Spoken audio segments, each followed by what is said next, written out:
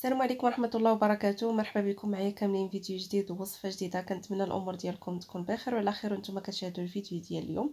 اليوم بإذن الله جيتكم بوصفة اللي إن شاء الله تحضروها الوجبة ديال الكوتي سهلة سريعة في التحضير ديالها. ما كتاخذش لكم بزاف ديال الوقت لا في التحضير ديالها. فان شاء الله غادي نحضر لكم هنايا فطائر مقلية اولا فطائر ديال لي بيني بمكونات اللي هي جد اقتصادية. كاتكم وشاركوا الفيديو مع العائلة والأصدقاء وخليو لي التعليق الزوينه اللي ديما هكا كتشجعني. يلا هو معايا دابا إن شاء الله باش نتعرفوا على الطريقة والمكونات ديال الوصفة ديال اليوم اللي هي فطائر ديال لي بيني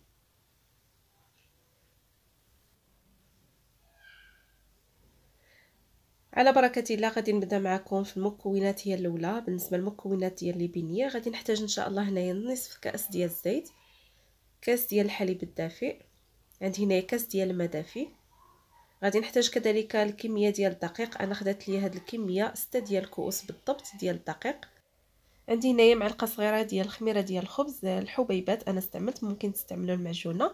وكذلك جوج ديال المعالق كبار ديال السكر سنيدة ممكن أكثر. عندي هنايا ساشيه ديال السكر الفانيلا وساشيه من الخميرة ديال الحلويات الوزن ديال الخميرة ديال الحلويات 8 غرام. بيضة وحده تكون في درجة حرارة ديال المطبخ. ومن طبيعة الحال الملح آه، بالنسبة لي درت تقريبا واحد نصف ملعقة صغيرة ديال الملح. غادي نبداو إن شاء الله في الطريقة ديال التحضير اللي سهله بدون دلك إن شاء الله غادي نحضروا هاد العجينة ديال هاد الفطائر. احتاجيت هنايا كيف ما شفتوا معايا زلافه اللي وضعت فيها كاس ديال الحليب دافي كاس ديال الماء. كنضيف عليها جوج ديال المعالق كبار ديال السكر سنيدة. ممكن تضيفوا أكثر إلا بغيتوا هكا البني ديالكم. يجيكم بالطيبة ديال الحلاوه بالنسبة لي أنا فجات الحلاوه ديالو هكاك مناسبة. كنزيد عليهم ساشية ديال السكر الفانيلا وغادي نخلط الكل كيف ما كتشوفوا معايا فقط بالخلاط اليدوي. وغادي نغطي هاد المكونات غادي نخلي غير الخميره تفاعل ليا واحد شوية مع السكر ماشي بزاف فتقريبا غير واحد جوج دقائق حتى لثلاثه ونرجع معكم. هنايا أخواتي بعد ما تفاعلت ليا الخميرة كيف ما ذكرت لكم ما خليتهاش بزاف غير شوية غادي نضيف ليها دابا المكونات الأخرى. عندي هنايا كيف ما قلت لكم نص معلقة ديال الملح كنضيف عليها بيضة كاملة. آه، ضروري تكون في درجة حرارة ديال المطبخ. باش هكا الفطائر ديالكم كيخمروا لكم بسرعة. كنضيف عليهم نصف كأس من الزيت. وبالنسبة للكاس اللي عبرت به المكونات كاملة راه كيوزن نفس القياس ديال الكاس ديال العنبة. كنعاود نخلط كلشي بالخلاط اليدوي كيف ما كتشوفوا معايا. وهنايا غادي نبدأ كنضيف الدقيق الفرص فبالنسبة لدقيق الفرص فأنا استعملت الخاص بالحلويات نوعية جيدة. ممكن تستعملوا الدقيق العادي. صافي هنايا راني كنت مغربله هكا من قبل. كنضيف عليه ساشيه ديال الخميرة ديال الحلويات اللي ذكرت لكم عندي هنايا. الوزن ديالها 8 غرام. كنخلط في الأول نصف ديال الكمية كيف ما كتشوفوا معايا بالخلاط اليدوي بهذا الشكل. حتى كيولي عندي القوام ديال الخليط بحال القوام ديال الكيك كيف ما غادي تشوفوا معايا. صافي دابا غادي نحيد هذا الخلاط اليدوي وغادي نستعمل يديا وغادي نكمل العجن ديال هذه العجينة. كنبقى كنضيف دائما الدقيق شوية بشوية حتى نكمل الكمية اللي عندي كاملة. كيف ما ذكرت لكم أنا خدات ليا 6 ديال الكؤوس بالضبط اللي كيكونوا عامرين مزيان. نتوما على حسب النوعية ديال الدقيق اللي عندكم. فبعض المرات هاد الفطائر كياخذوا ليا 7 ديال الكيسان وبعض المرات كياخذوا ليا هكا 6 ديال الكيسان على حسب كيف ما ذكرت لكم النوعية ديالو. المهم أنكم آه، العجينة ديالكم ما تقصحوهاش خليوها تكون رطبة كتلتصق في اليدين. غادي تشوفوا معايا إن شاء الله بعد ما غادي نعجنها غادي تشوفوا معايا إن شاء الله القوام ديالها كيفاش خصو يكون. باش هكا الفطائر ديالكم كيجيوكم خفافين بزاف وما كيجيوكمش نهائيا معجنين من الداخل. وإن شاء الله المكونات ديال هاد الفطائر غادي تلقاوها مكتوبة في صندوق الوصف وفي أول تعليق بالغرام وحتى بالكاس بالنسبة للأخوات اللي كيبغيو هكا المكونات مكتوبة. صافي كنستمر غير بحال هكا ما كدلكوش العجينة فقط كتدخلوا فيها كمية ديال الدقيق. شوفوا معايا. فالعجينة كتحسوا بها رطبة ملي كتدخلوا يديكم لداخل فكتبدا كتلتصق بزاف اليدين. فهذا هو القوام اللي خصو يكون فيه هاد العجينة ديال الفطائر. غادي ندهن هكا العجينة باش هكا ما كتشكلش ليا ديك القشر اللي كتكون هكا في الفوق ديال العجينة. كندهنها بشوية ديال الزيت وغادي نغطيها بالبلاستيك الغذائي وغادي نخليها في الجنب حتى كتختمر وكيضاعف الحجم ديالها. ومن طبيعة الحال الوقت ديال الاختمار ديالها كيبقى على حسب الجو اللي عندكم. فبالنسبة لي أنا خليتها فقط عشرة ديال ديال الدقيق فكنت شي شوية مزروبة بهاد الفطائر. نتوما إلا عندكم الوقت فخليو الفطائر ديالكم أو العجينة ديال الفطائر حتى كيضاعف الحجم ديالها ثلاثة ديال المرات. عاد كتشكلوا إن شاء الله هاد الفطائر ديالكم. غادي نخليها تختمر ونتلاقى بكم. هنايا كيف ما كتلاحظوا معايا بعد ما اختمرت عندي العجين خليوها نتوما حتى تطلع لكم أكثر من هكا. غادي نحاول هكا نفرغها من هذوك الغازات ديال ديال العجين. كيف ما كتشوفوا معايا العجينة راه كتلتصق.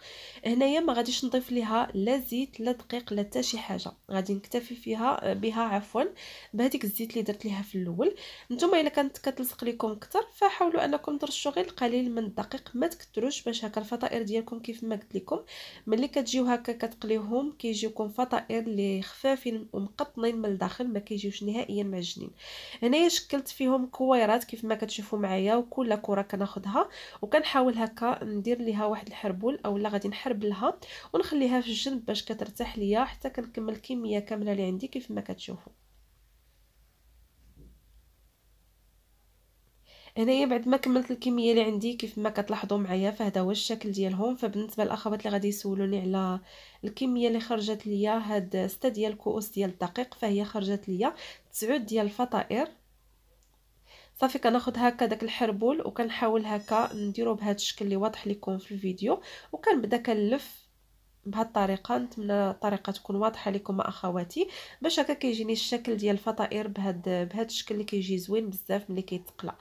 فكناخذ هاد الفطائر كنوضعهم في ورق الزبدة اللي قطعته هكا مربعات باش هكا يسهل عليا ننسهم بعد ما كيختمروا ونوضعهم في المقلاة باش يتقلاو. غادي نعاود معكم الطريقة مرة أخرى. كناخذ هكا هاد الحربول. وبالنسبة الحربول عفوا فأنتم اللي كتحكموا بالنسبة هكا الفطائر ديالكم بغيتوهم صغار فأكيد كديروا حرابل اللي هما صغارين. صافي كنديروا على شكل هكا بحال بحال واحد القرص. والجوانب اللي كيبقاو هما اللي كنبدا كنلفهم على داك القرص بهذا الشكل وكنلصق هذيك الجهة اللي كتكون فيها الملاقية ديال العجينة كنلصقها وكنوضعها هي اللي في الأسفل. كنوضع الفطيرة كيف ما كتشوفوا معايا أولا هاد الفطائر في ورق الزبدة. غادي نعاود معكم الطريقة مرة أخرى. كندير بهذا الشكل وكنبدا كنلوي العجينة على هذيك الدائرة كيف ما كتلاحظوا معايا. الطريقة راه واضحة لكم إن شاء الله في الفيديو. إن شاء الله تجربوهم كيجيو هائلين. لا في المذاق ديالهم وحتى بالنسبة الطريقة ديالهم راه سهلة كيف ما شفتوا معايا فكياخذوا لكم غير وقت اللي هو قصير بزاف غير في الوقت اللي غادي يختمروا لكم. من طبيعه الحال كيف ما كتعرفوا الجو راه سخون هاد الأيام فكيختمر كيختمروا لكم بسرعة. هنايا بعد ما كملت الكمية اللي عندي كيف ما شفتوا معايا تسعود ديال الحبات غادي نغطيهم هنايا غادي نخليهم تقريبا غير واحد خمسة دقائق وندوزو إن شاء الله باش نقليوهم. هنا كيف ما كتشوفوا معايا فخديت هنايا مقلة درت فيها الزيت خليت خليتها حتى سخنات وكيف ما كتشوفوا معايا هادو هما الفطائر بعد ما اختمروا. فضروري تخليوهم يخمروا لكم مزيان باش هكا كيجيوكم خفافين بزاف. صافي كنوضع هكا. آه كيف ما كتشوفوا معايا هاد الفطائر في المقلة اللي كتكون فيها الزيت سخونة بزاف. من بعد أخواتي كديروا النار اللي هي مهيلة في الأول. كتخليو هاد الفطائر ديالكم غير واحد شوية من بعد كتحيدوا داك ورق الزبدة. ملي كتحسوا بها الجوانب ديالها بدات كتحمر كتقلبوها وكتخليوها على نار اللي كتكون متوسطة وكتخليو هاد الفطائر ديالكم حتى كيطيبوا على خاطرهم. راه دغيا كيتحمروا أخواتي إلا جهدتوا عليهم النار. فما غاديش يجيوكم طايبين من الداخل غادي يجيوكم معجنين. ففي الأول ملي كتجيو هكا تحطوا الحبة ديالكم كتكون العافية مهيلة بزاف. ملي كتجيو كتحيدوا ورق الزبدة وكيبانوا لكم هكا الفطائر ديالكم بداو كيتحمروا كديروا نار اللي هي متوسطة وكتخليهم كيطيبوا على خاطرهم. باش هكا كيطيبوا لكم من الداخل صافي هنايا كديروا على حسب الحجم ديال المقلة فأنا هنايا كيف ما كتشوفوا معايا بديت كنحط هكا جوج باش هكا ما كياخذوش ليا بزاف ديال الوقت في الطياب ديالهم. ملي كيبانوا ليا كيتحمروا كنقلبهم. ومن طبيعة الحال إلا بغيتو يجيكم منفوخين أنا ما درتش ليهم هاد الطريقة غير بغيت نوريكم. إلا بغيتو هكا تبقاو تخويو عليهم الزيت اللي هي سخونة كيف ما كندير معكم بزاف المرات بالنسبة للسفنج. فكترشوا عليهم من الفوق كيف ما كتشوفوا معايا الزيت اللي هي سخونة وكيزيدوا هكا كينتفخوا لكم بالنسبة لي أنا فخليتهم كينتفخوا عادي بالخميرة اللي اللي خليتها اختمرت العجينة من طبيعه الحال. صافي كنحيدهم بعد ما كيتحمروا ليا. ولا عندكم ورق النشاف فكتوضعوهم على ورق النشاف باش هكا أخواتي كيقطروا من هذيك الزيت اللي كتكون هكا فيهم على برا. بالنسبة لي أنا وضعتهم هكا غير في الشبكة لأن ورق الطهي اولا ورق النشف ما كانش متوفر عندي أخواتي. صافي هنايا غادي نكمل لهم الطياب بنفس الطريقة كيف ما كتشوفوا معايا. دائما كندير نار اللي هي مهيلة في الأول ملي كيبداو هكا كيتحمروا من الجوانب. فكنحاول هكا ندير نار اللي هي متوسطة وكنخليهم كيطيبوا من الداخل وكيتحمروا كيكملوا الطياب ديالهم. صافي هنايا بعد ما كملت الطياب ديالهم فكتحسوا بهم خفافين بزاف ومقطنين هنايا راه ولاو عندي دافين كيف ما كتشوفوا معايا هذا هو الشكل ديالهم. كيجيو رائعين رائعين. كنصحكم أنكم تجربوهم أخواتي. هنايا بالنسبة للطريقه ديال التزيين غادي ندير التزيين اللي هو بسيط بزاف. فخديت هنايا السكر سنيدة اللي وضعت فيها القليل فقط من سكر الفانيلا. وكنحاول هكا ندير لهم غير الوجه ديالهم. ماشي كنديرهم كاملين في السكر سنيدة ما بغيتهمش يجيوني حلوين بزاف. فكندير لهم غير الوجه ديالهم بهذه الطريقة كيف ما كتشوفوا معايا في, في السكر. بغيتو تزينوهم بطبيعه الحال بالشوكولاتة الدائبة وكتغطسوا الوجه ديالهم في الشكلاط الدائب اولا كديروا هكا صوص ديال الكراميل. عندكم كامل الاختيار تقدروا ديروا حتى السكر كلاصي اللي هو السكر ثقيل. فكل وحدة كتزين على حسب الرغبة. صافي هنايا كيف ما كتشوفوا معايا غادي نكمل لهم تزيين تشوفوا معايا الشكل النهائي ديالهم. وهذا هو الشكل النهائي ديال لي بيني اولا الفطائر المقلية كيجيو رائعين بزاف كيف ما شفتوا معايا مكوناتهم اقتصاديين بزاف. فيهم غير كاس ديال الحليب مع كاس ديال الماء وتبارك الله خمسة ديال الكؤوس ديال الدقيق خرجت لينا تبارك الله تسعود ديال الحبات. راه غير ما وضحش لكم في الفيديو راه الحجم ديالهم راه كبير كيف ما ذكرت لكم بغيتو ديروا الحجم ديالهم صغير عندكم الاختيار فغادي تخرج لكم كمية أكثر فتقريبا غادي تخرج لكم 18 قطعه الا درتوهم صغارين. هنايا غادي نقسم معكم وحدة كيف ما دائما باش هكا تشوفوا معايا من الداخل كيفاش كيجيو راه كيجيو خفافين مفشفشين كيجيو رائعين ما كيجيوش نهائيا معجنين. غادي تشوفوا النتيجة راه واضحة لكم في الفيديو. نتمنى فعلا أنكم تشاركوا هذا الفيديو مع العائلة. خليوا لي لايكاتكم باش تشجعوني أكثر والفيديو يتشاف عند عدد كبير ديال الأخوات. خليتكم على خير نتلاقاو إن شاء الله في فيديو جاي. السلام عليكم ورحمة الله تعالى وبركاته.